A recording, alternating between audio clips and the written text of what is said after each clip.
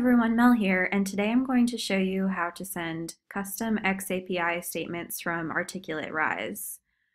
And I'm going to be using this example course that is, or sample course, that's an employee health and wellness course. So I go ahead and preview this. I'll let you know what we're going to be tracking today. So on this course in particular, we're going to be tracking when the page turns so when you click on these sidebar tabs, so you'll be able to see what pages people go to. And the way that we're going to be doing that is we're going to be identifying when the anchor point up here or the hashtag changes on the page itself. So what I'm going to do is I'm going to go ahead and download this and I'll show you how you can make this work. And then in future tutorials, I'll show you how to collect more data on different things like clicks and videos and all the other good stuff that is in Rise that's interactive. But let's just start with this. So I'm going to have to go back to my main page here, and then you can click on export. And when you go to export, there's going to be several different export types. For this one, what we're going to export for is web. And you would think that it might be LMS and you would choose XAPI. But we're doing this for the web because we're going to be exporting for this to live outside of a learning management system. And when you choose LMS, this one wants it to live inside of a learning management system. So select web, and then we are going to click export. And of course, in some cases too, you can use SCORM and XAPI at the same time. But we're just doing this for web today. so I have a little bit of a cold, so if I'm like coughing and stuff, that's why. Um, so for this, we're gonna um, open this, unzip it. I'm just gonna get rid of the old zipped file. And then we're just gonna be editing one, uh, one file in here, and that's the index.html.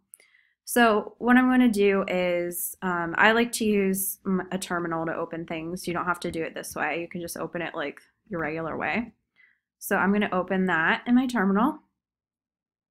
and I like to use a text editor called Sublime Text. Oh, it does not want to open my folder here. Hold on. It's so weird. It's opening the wrong thing.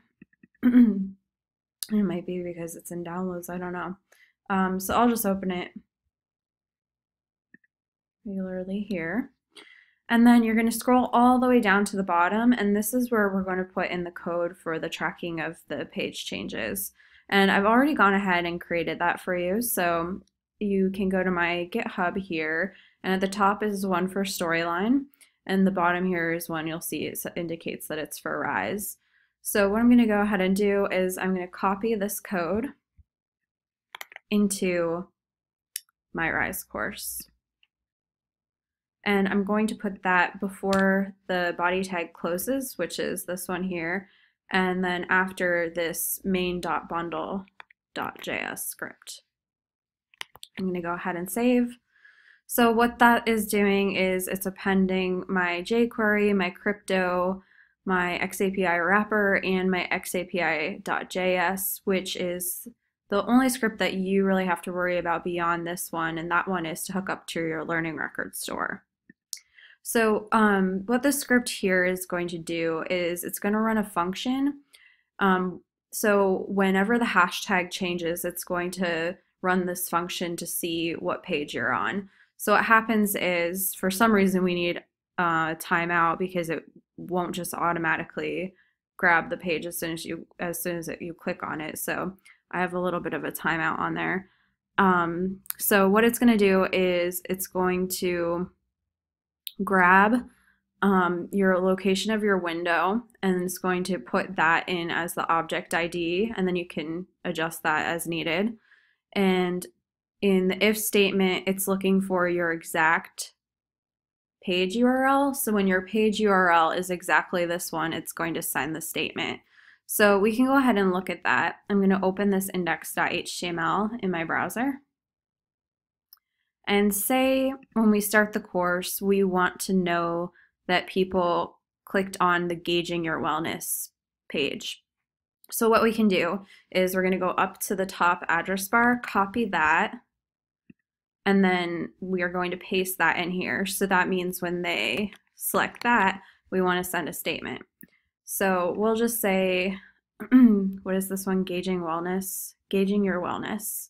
So we want to say that the person experienced gauging your wellness in the RISE course. So I can go ahead and save that. And then what should happen is when I run this, um, everything will work. But what I need to do first is make sure that I have these two files in my folder and downloaded. So what I'm going to do is I'm going to go back to here and I need to download the xapi.js and the xapi wrapper. So I'm going to download those to a zip and I'm going to pop those in there. So let's go ahead and open them in a new window and open. And then I'm just going to drag these into here and they're ready to go. So the only thing that you'll need to do is you'll need to get your Learning Record Store's endpoint. So I'm opening the xapi.js file because this is how it's going to connect to the Learning Record Store. So you want to go to your Learning Record Store. I have Learning Locker here. I'm going to grab the endpoint, which is this, and I already have that in the file, so I don't have to worry about that. But if you have a different endpoint, you'll need to change yours. I'm going to grab the key, and then I'm going to grab the secret. So first I want to put the key here. And then there's going to be a, a colon, and you need to make sure that colon stays there. And then grab the secret put that in here. Make sure that all works right. Okay, looks good. And then we're ready to go. So um, basically, all I have to do now, well, really all I have to do now for real, is test this out. So I'm going to go ahead and launch this. And what I like to do to make sure that things are working appropriately is I always have my console up so I can see any of the errors. So right now we're not getting any errors, so that's good. So that's um, in Google Chrome, right, right click, click inspect, and then your console is the second tab here. I'm gonna go ahead and start course. Nothing's happening currently because we don't have a statement set to send, but when I click on gauging your wellness, as long as I didn't do anything wrong, we should have a statement sent to our learning records store because we're saying when the hashtag changes and equals exactly what the hashtag um, URL is for this, we're going to send a statement. So when I click that, this is always a good sign when you see that. You'll be able to come over to your Learning Record Store and you can see that I clicked on Gauging Your Wellness.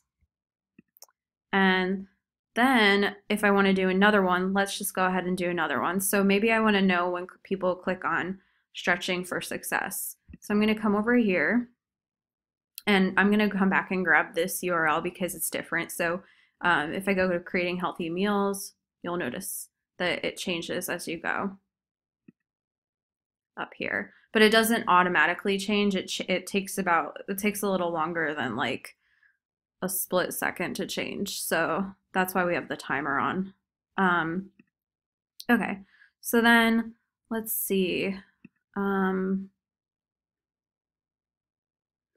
I want to have another if statement in here. So what I'm going to do is add this, add the second one here. So let's just make sure this looks good. Come here. You always have to make sure your code is written correctly. So I'm going to go ahead and add another one. And what's our name of that page? Let's see.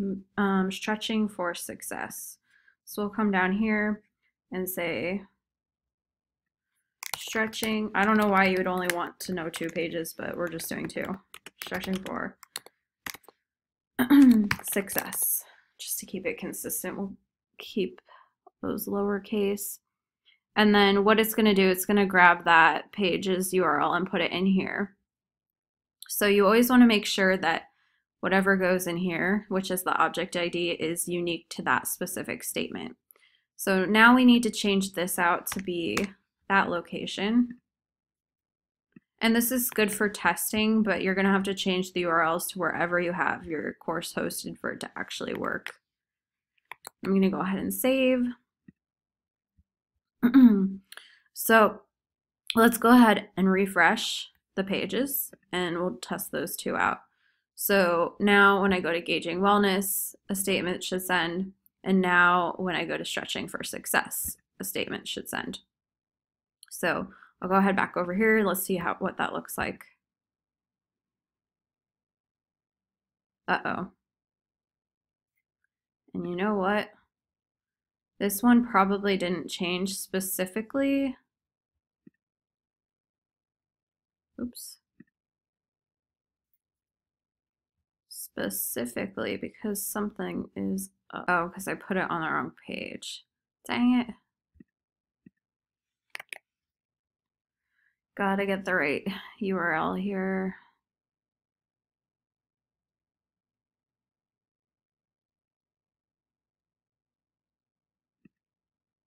I picked the wrong one. All right, so let's try this again. I used the wrong one. So now, stretching for success, yes. Gauging wellness, I hope so. And you can also do a console log to make sure that it's sending for real. So let's go ahead and refresh. so you can see I clicked on um, experience stretching for success and gauging your wellness. So that's really all you have to do. It took me a second to realize that I didn't have this URL right. So after you've gone ahead and maybe tested one or two and then you have your file up and loaded, you can change these out to your actual file location and then that will start sending statements. So that's my quick video on how to send custom XAPI statements from Articulate Rise. I hope it was helpful and feel free to edit my script to make it even better. Um, I would really appreciate that too. All right, bye.